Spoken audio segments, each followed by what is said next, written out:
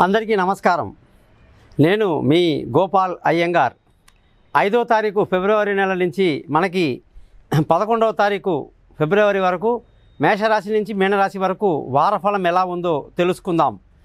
ముఖ్యంగా మీరందరూ కూడా ఈ యూట్యూబ్ ఛానల్ని సబ్స్క్రైబ్ చేయడం మీ ధర్మంగా భావిస్తారని ఆశిస్తున్నాను. మీ జాతకాలు తెలుసుకోవడానికి కోసం మీ date of birth time of birth place of బర్త్ని నాకు వాట్సాప్ చేయండి. పైన మూడు నెంబర్లు ఇచ్చాను. మీ జాతకం రెడీ అవుతుంది. మీతో ఫోన్లో మాట్లాడి పరిహారాలని చెప్పి జాతకాన్ని మీకు మెయిల్ చేస్తాను. ముఖ్యంగా ఎవరికైతే డేట్ ఆఫ్ బర్త్ లేదో వాళ్ళు ముఖం కనిపించేట్టు ఒక ఫోటో మగవాళ్ళు కుడి చేయి ఆడవాళ్ళు ఎడమ చేయి రేఖలు కనిపించేట్టు ఫోటో పంపించండి. మీ జాతకాలు తప్పకుండా చెప్తాను పరిహారాలు కూడా చెప్తాను. వీటికంతా కూడా గురుదక్షిణ ఉంటుంది మర్చిపోవద్దు.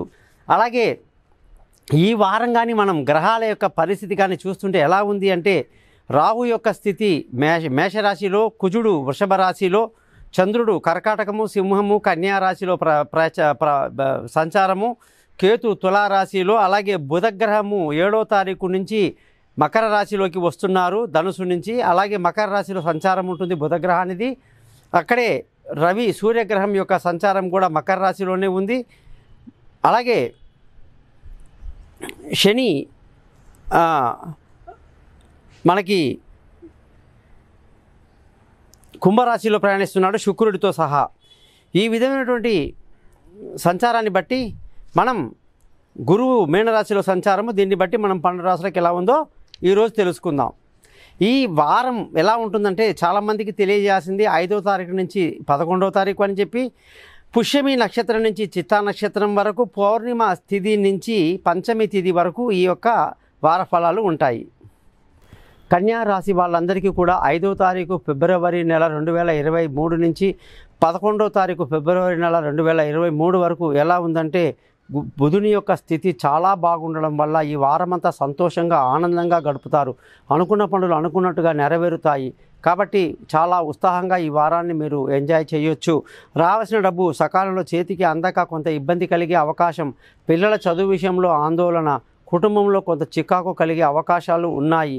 బంధువుల స్నేహితుల సహాయ సహకారాలు పెద్దగా లభించక ఇబ్బంది పడే అవకాశము విలువైన వస్తువులు భూములు ఇతరత్ర ఆభరణాలు కొనడానికి చాలా అనుకూలంగా ఉండడం లాభదాయకంగా ఉండడం తల్లి ఆశీర్వాదాలు బాగుండడం సంతానం విషయంలో కొంత ఆందోళన దూర ప్రయాణాల్లో కొంత చికాకు అలాగే తెలివి తక్కువ నిర్ణయాలు తీసుకునే ఇబ్బందులు ఉండే అవకాశాలు ఉన్నాయి. కాబట్టి పిల్లల యొక్క విషయంలో జాగ్రత్తలు తీసుకుంటూ ఉండాలి.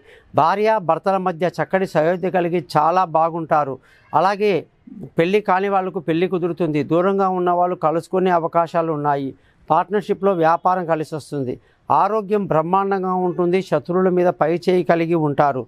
అదృష్టంగాని చూసుకుంటే ఈ వారం మీకు అదృష్టం అంత పెద్దగా కనిపించటం లేదు. అలాగే తండ్రి నుంచి రావాల్సిన సహకారాలు మీకు పెద్దగా లభించదు. ఉద్యోగం చేసే వాళ్ళందరికీ అద్భుతమైన సమయం. ప్రమోషన్లు ఇంక్రిమెంట్లు పై అధికారుల ప్రశంసలు అలాగే కొత్త కొత్త ఉద్యోగాల్లో అవకాశాలు అలాగే మీకు ఇంటర్వ్యూలో సక్సెస్ఫుల్గా ఉండడం అన్నీ జరుగుతూ ఉంది.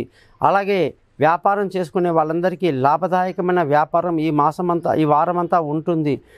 అయితే ఖర్చుల విషయంలో చూసుకుంటే ఈ వారం మీకు ఖర్చు అధికంగా ఉండే అవకాశాలు ఉన్నాయి కన్యారాశి వాళ్ళు రోజు తలస్నానం చేసి ఉదయమే ప్రియాంకు కలికా శ్యామం ర- రూపేణ ప్రతిమం బుధం. సౌమ్యం సత్వ గుణోపేతం. తం బుధం ప్రణమామైన మంత్రాన్ని చదువుకోవటం చాలా మంచిది.